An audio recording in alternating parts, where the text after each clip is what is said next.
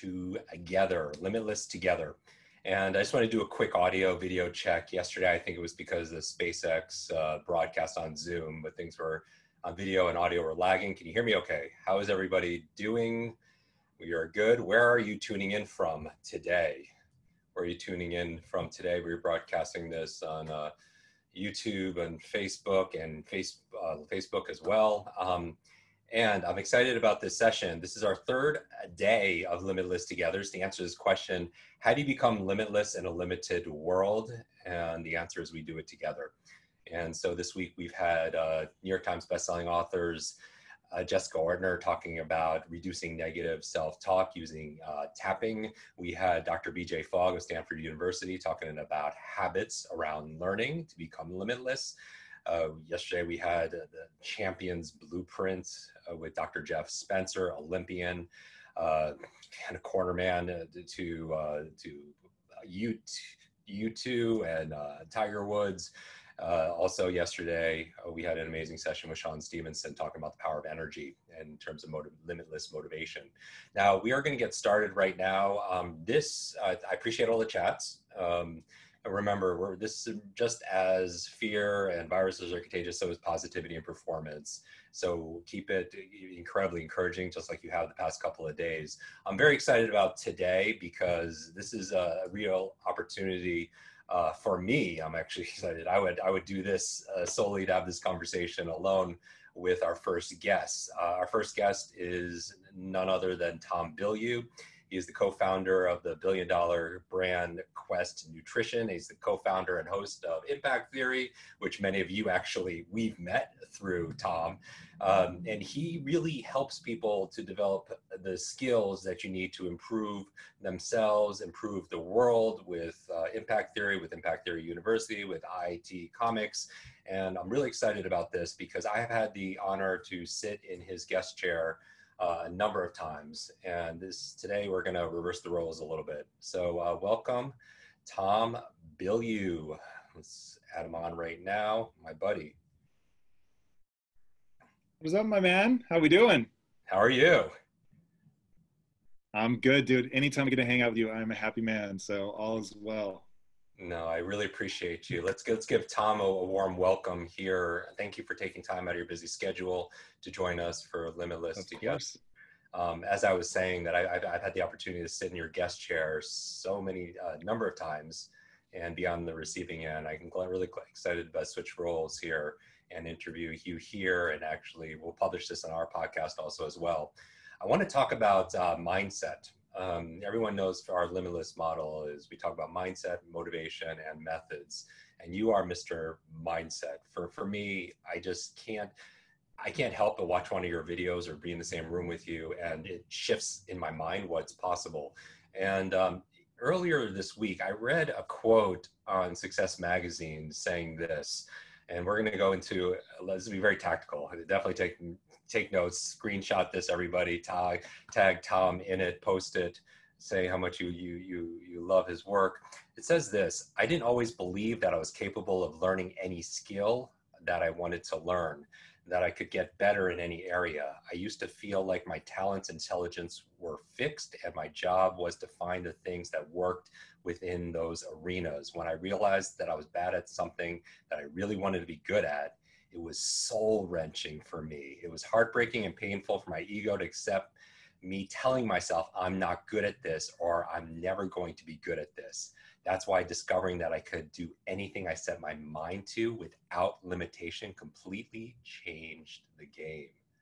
How that how did that happen, Tom? What's that? So uh, yeah with with any of this stuff of course it all gets distilled down in into sounding like it was a single moment but of course it was a, a long time coming but um, the punchline was i grew up my dad when i was 12 years old made an offhanded comment that i took on as a part of my identity of course none of this was conscious at the time but um, he he had introduced me to a camcorder. I started filming. I mean, to kids now, this seems so self evident, but back then it was really weird to have access to a camera. So I had access to a camera, started filming stuff um, with the intention of being in front of the camera. And then ultimately, my dad ends up making this comment. He says, Oh, I actually think you're better behind the camera than you are in front of the camera.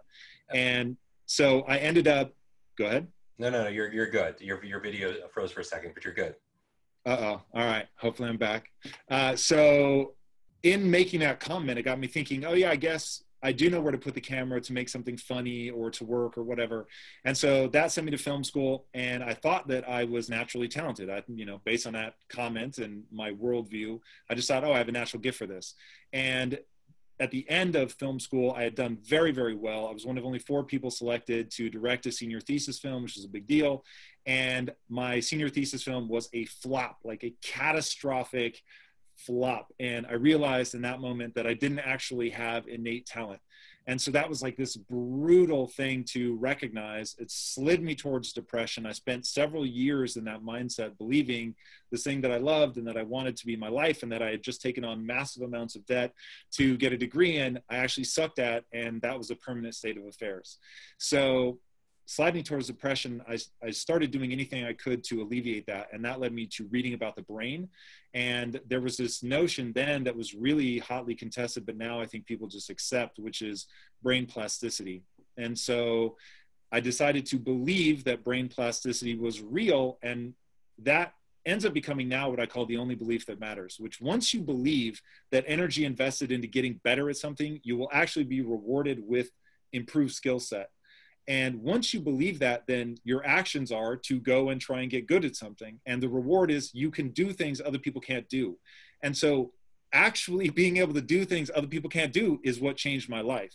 And so, being on that path of just one foot in front of the other, I suck at it today, but that doesn't mean I have to suck at it tomorrow. And just doing that over and over and over in into many different arenas ended up allowing me to change my life financially, emotionally, um, and just, yeah, make the punchline of all of that a, a total liberation from this feeling that my talent and intelligence is fixed. That's amazing. And that goes into, I hear you say a lot on your show that, uh, that we are the, the human beings are the ultimate adaptation machines. Can you go into that? Truth. True. Yeah, so that that is um, my obsession. So every species has a choice to make. You can either hardwire everything into that animal, like a horse, and a horse comes out, and a horse can get up and run around within like an hour. You take a human, and three years in, like if you left that kid at a playground, it is dust. Like no way that kid survives on his own. So when you think about the difference, then you have to ask, okay, why? So the human brain, the um, prefrontal cortex, does not finish developing until you're 25. Now, that's not because um, that brain tissue is harder to form or something. Uh, it is purely leaving you open like a sponge so that you can drink in all of this information. And then, roughly, by the time you're 25, you've taken in everything that you need to from your environment and you sort of put a cap on all of that. And your brain goes into a pruning process, which I mean, that's oversimplifying. It actually starts pruning probably around age 11, but that's when like everything is sort of solidified, the last piece is in place, and now your biology is saying you're baked at this point. Now that's giving you 25 years to epigenetically respond to your environment. And culture becomes the most incredible tool that humans have. So when you think about our ability to exploit every single niche on this planet, if you dive underwater into a cave, Jim, you're going to find a sign in that cave that says, hey, be careful, you could die in here. But the fact that there's a sign there tells you that people go there. It's fucking crazy. So humans are, are able to go everywhere, thrive everywhere because we can teach each other. So you don't have to relearn, right? Literally what we're doing right now. It's so funny. When I watched people pour into this, I was like, the reason that people are pouring into this is because Jim is fucking real. He gives people actual usable advice, which you know I value for tremendously. Most people do not do that. Uh, they're all sort of esoteric and talking big words, but they're not telling people, do this, get this result. And because you do that, they learn something that took you a whole lifetime, but they literally learn it in a week. It's that's nuts. So human culture is extraordinary. That that's the period love here. Everyone's calling you the goat. I, love, I, love this. Um, we we've talked about this. I was looking at that that converse that article again. I was referencing before, saying not to focus on limits. Um, so why is it important to believe that you can do anything you set your mind to without limitation? The key phrase being without limitation. It's important because you and I both know it's a lie. And I talk about in the book, lies are limited ideas that we entertained. You're a lot, you're a big inspiration for the mindset section of this book.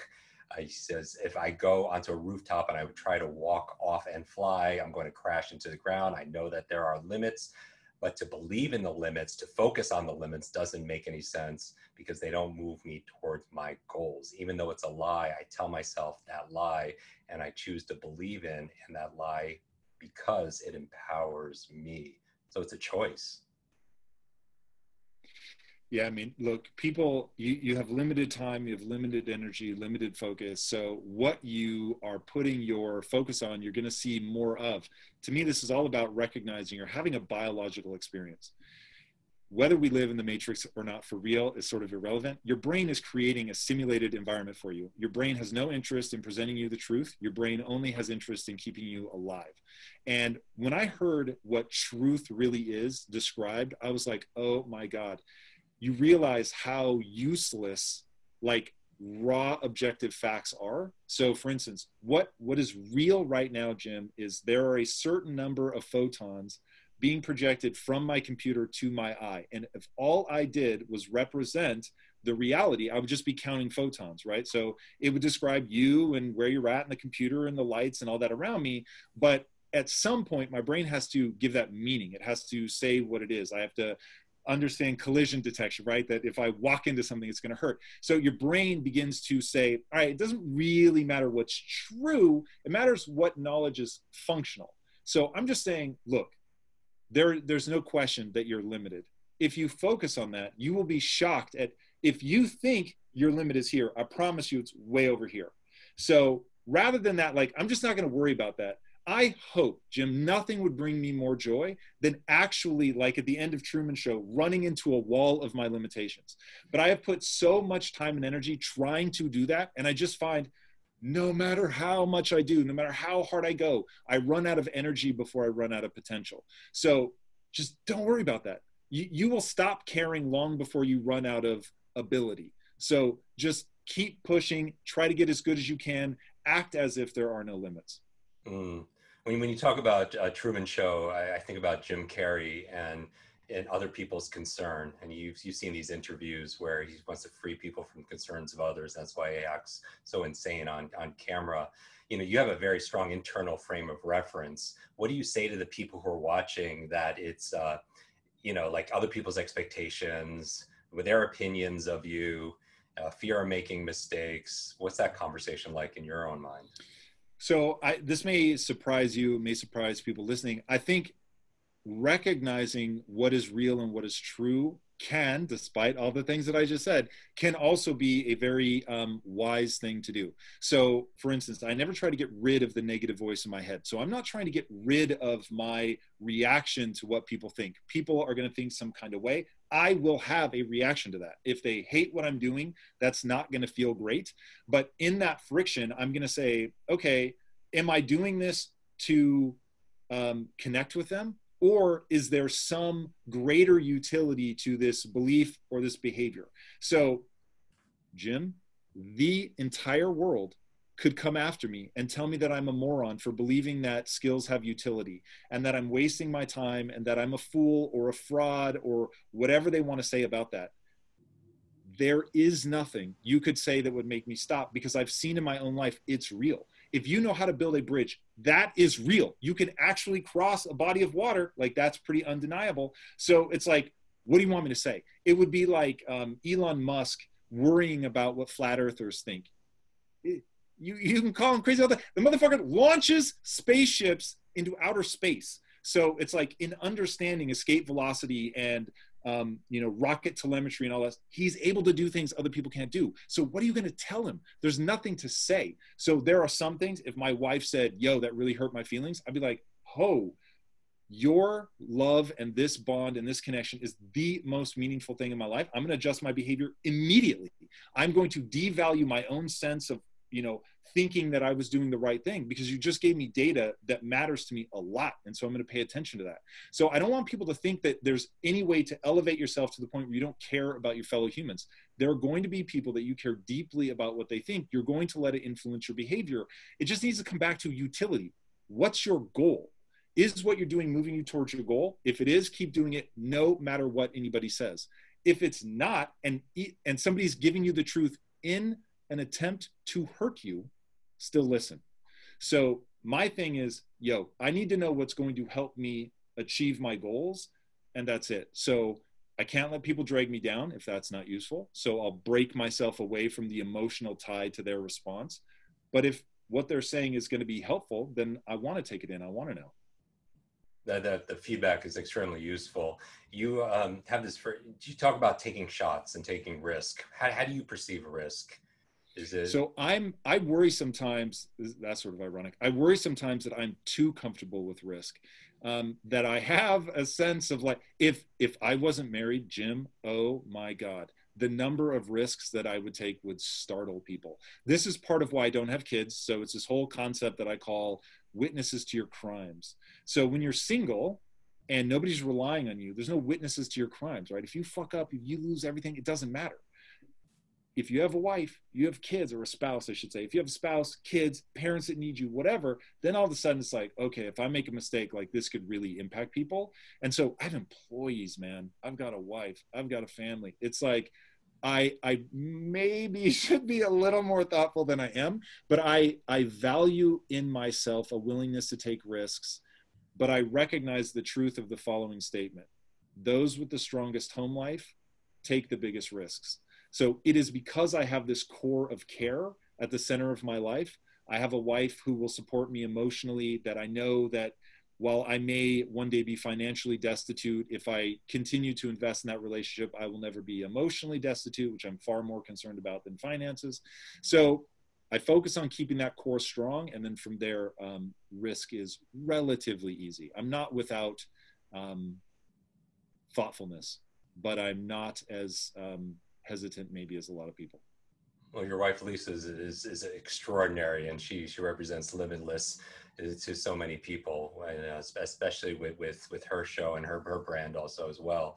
What about what about this conversation that you have about around patience? You know, patience. People hear, you know, you you should be patient, and uh, what is it? What does that what does that word mean to you? I know words have effect on on on our on our brains you know is there a sense of for you when i talk to you there's a sense of urgency to do this. Um, but how do you how do you look at patience there is. So um, first of all i will say go, tying this patience to our last point um, so somebody in the feed said jim please tell tom to stop swearing because there are kids in the feed. So that's one where i so value the energy that i can create in myself by using swear words which is why i do it despite people always telling me not to. Um, but i will say i respect that uh, this is your group. So all the parents out there with kids, th- there will be zero more swear words in the remainder of this. Uh, so respect, right? So I that that was great feedback. Now the reason that I tie that to patience is my whole thing is F patience.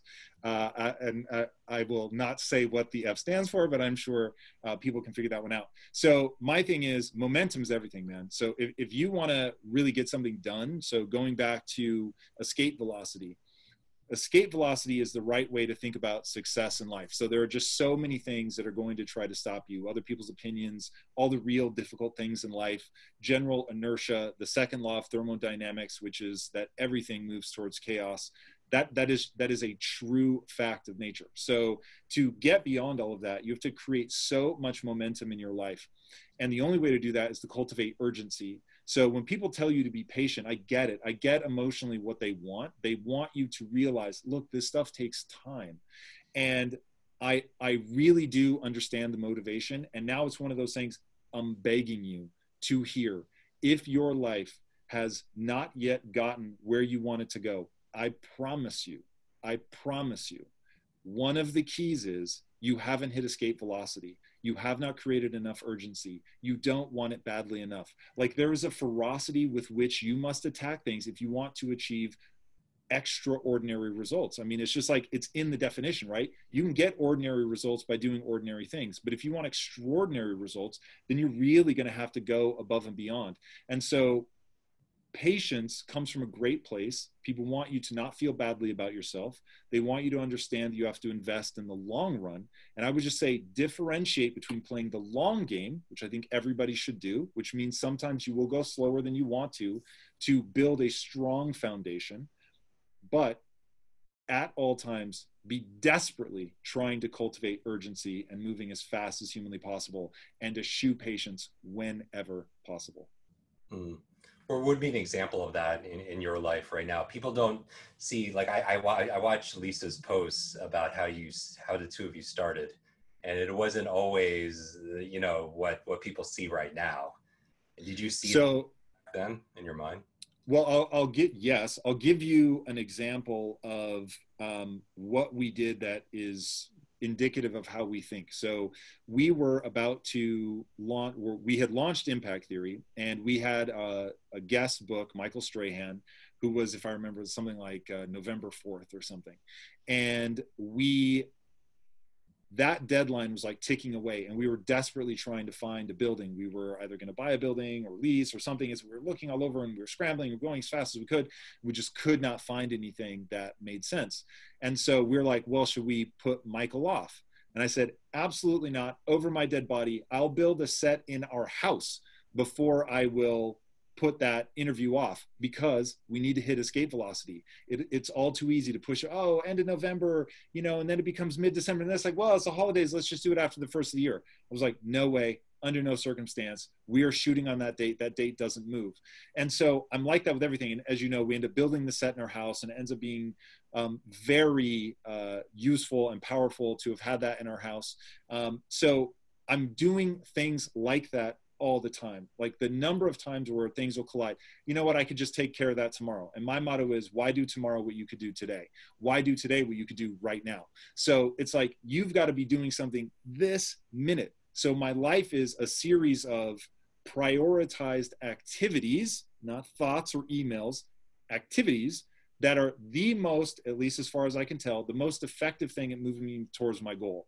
And so I'm always trying to just get through those get through those things with joy, with passion, all that. I don't want to make it sound like it's drudgery. It's not. I've been very careful in how I craft my life, but doing things right now. That is one of the most important things that important changes people can make in their life. So you're consistently looking at the outcome and then you go back and you say what has to happen in order to be able to do that. And you're just relentless, independent of the noise that's just going on. Yeah, I'll say it in a slightly different way. And this is like what I'm about to say, if people could um, grab onto this and never, ever, ever, ever let go, like their life will change forever. Write down your goal and make sure it isn't the concept of a goal, it is hyper specific. It contains the what, the how, and the how much. So, and by when. So it's like, by when are you going to do exactly what? So people normally, they think their goal is, uh, I want to win um, a gold medal. Okay, in what? The Olympics? Yes, fantastic. Winter or summer? Summer, great. Swimming or tennis? And it's like you finally get down to the year you want to win it in exactly what sport because that's going to dictate what you do to get there. You do very different things if you want to be a gold medal breaststroke swimmer than if you want to win a gold medal in tennis, right? You're going to work out different muscle groups. You're going to practice different. You're going to find a different coach. And so it's all about getting your thinking in the right place that your behaviors actually move you towards your goal. At the end of the day, you're just trying to control your behaviors, but you have to align your thinking first. Mm. Do you do you ever feel in your mindset? Do you ever feel defeated? Yeah. Yeah, but it's one of those like, and this is where I want people to understand the way that your mind works. So I feel defeated because I don't think you can eliminate the negative voice in your mind. So I might contemplate, oh, I'm never going to be good at this 30 times in a day. And then I just have to remind myself that's not how the human animal works. So this is why I come back to that notion of the human animal is the ultimate adaptation machine because it was hugely freeing for me to realize I actually, because I had big fears that I was average. And the day that I had the realization I am average, I am hopelessly average, but I am a hopelessly average human and humans are designed to grow and change. So it's like, oh, okay, well, where's the biggest impact? Is it what I'm born with or is it what I can change? And as far as I can tell, and many, many scientists will say this, it seems about 50 50. 50% of who you are, you're born with, 50% is malleable. The 50% that's malleable, dude, will 100x anything that you want. So, one of my favorite quotes in life is everybody ready? You can't make a pig into a racehorse, but you can make a really fast pig. Dude, I love that so much. So, my life is about becoming the fastest pig. So, I get it. I can't beat LeBron James in basketball, but I could 100x my basketball skills. I maybe I'll never be as good as Steve Jobs at business, but I can 100x and did 100x my business skills. And it took me from scrounging in my couch cushions to find enough change to put gas in my car. That is a real story to building a billion dollar business. So it's like, what what do you want to get good at? You can get so much better than you are now, even if you never become the, the greatest of all time. Though if I'm really honest, I'm always striving to be the greatest that ever lived. I just don't value myself on whether or not I achieve it. I just value myself for actually trying. So, in holding myself to that crazy standard is how I become the fast pig. Mm. What, do, what do you think some core core competencies or, our abilities our skills as as people are going through some some changing and, and turbulent times right now?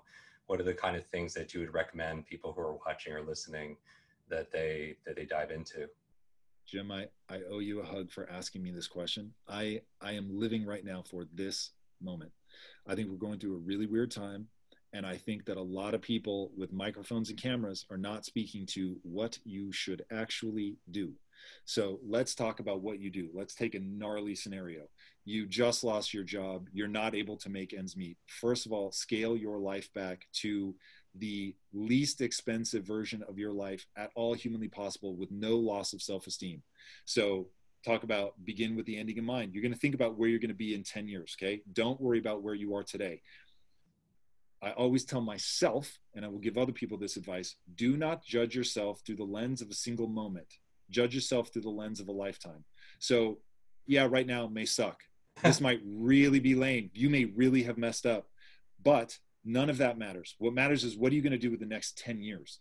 So, over the next 10 years, we're going to do something extraordinary. And it starts with cut your expenses to the quick. Number two, recognize that skills have utility. They let you do something, right? So, we talked about that earlier. But I, it, this is something I say, and people don't really internalize what it means. When you learn something, you're not reading a book to check a box. You're not taking Jim's course to say that you did it you're learning to read faster so you can read more books and gain more knowledge more efficiently so you can go do the thing that that knowledge is about so bridge building i talked about earlier being able to build a house um, whatever your thing is being a better parent being a better teacher whatever it is that you want to do you actually can improve at that thing and getting better at that thing will reap rewards. It could reap rewards of status, could reap financial rewards. It could just allow you to accomplish something in your life that's deeply meaningful to you. But all of that comes from getting better at something. So the notion from Steve Martin of get so good they can't ignore you. That that is the single most important thing for a human being to understand. You can get so good you cannot be denied. Okay, you can get so good, you cannot be denied. There were people that were born slaves, dude, in America that have gone on to be some of the most remembered and celebrated people in the world because of what they created, whether it was ideas or physical things. It's like, yo, they could not have had the deck stacked against them any harder. Viktor Frankl, who ends up writing this book called Man's Search for Meaning, which is echoed through decades and decades and decades after his death he survived four concentration camps, man. So it's like, I can't imagine how bleak that would have felt when he was in the middle of it. But yet, he got so good at understanding humans that he could end up writing this book about it. And he was a trained neuroscientist. I mean, just really incredible. But it comes down to what skills have you acquired? So, in this dark time, dude, be focusing on skill acquisition. Write your goal down. Then read in swarms. So, taking your class makes all the sense in the world to me because it is so foundational. You're learning how to learn. Now apply it to something very specific that is meant to lead you to a goal that you have written down that has a date attached to it. So you know exactly what you're trying to accomplish. And then you're learning about it so you can acquire those skills and then put those skills to use immediately. If you learn something today, use it today. Now, I could dude, this is a tirade. I could go on and on and on and like keep going down. And I always want people to press me on it because there there's nowhere to run. I will just tell you, it is the only path forward. None of us want to be in this situation. This is a gnarly situation. People are dying, people are losing their jobs. It's all real, it all sucks. But if you focus on that, that's all you're going to see. You focus on the other side, that there is so much that you can control and you take advantage of that, on the other side of this, you will be so much farther ahead of everyone else that gave into fear and anxiety. And action cures all. Amazing. And I'll leave it with that. Tom amazing. Your impact really is deni- undeniable. I want let's uh, let's give a hand for for Tom. Take a screenshot of this, please. To honor Tom your time and, and your sharing here. Take a screenshot, tag Tom. Make sure you follow him on social media, Tom Bilyeu, and share one of your big ahas. Look at this. Wow. and uh, dude, uh, as always, man. Oh, Thank we, you. we need to have you back on the show and um, and I want to know, man. I'm always down. I want to thank you for all you do. I, you are the one of the most congruent, aligned, integrated souls that that I know, and thank you for the the the, the help and the hope that you've given so many for me and and so many others. I, I appreciate so much, so much, brother. Thank you, man. Thanks for having me on. Thanks everybody in the feed, and uh, hopefully I will see you all soon. Tom, Tom Bilyeu, Impact Theory, Impact Theory University. Impact Theory Comics. Follow this man, uh, follow his words. Most importantly, walk the path. You don't have to walk on the same path, but we're all on this journey to be able to realize and reveal our fullest potential. Tom Bilyeu, thank you so much, my friend. I love it. Thanks, brother. Peace out. Brain, it's your brain coach. I want to thank you so much for watching this video. Three things to do. Number one, make sure you share this because when you teach something, you get to learn it twice. Update your learning so you can update other people's learning as well. Number two, make sure you subscribe to this channel so you don't miss a thing because if you miss a video, you miss a lot. And finally, make sure you hit that bell so you're notified and you find out when we put out the latest and the greatest. One extra thing, if you want really close attention, then text me. Here is my phone number 310 299 9362. Did you remember that number? 310 299 9362. Shoot me a text and we'll stay in touch. Ask me your burning question. And I wish your days be full lots of life, lots of love, lots of laughter, and always lots of learning. I'll see you in our next video.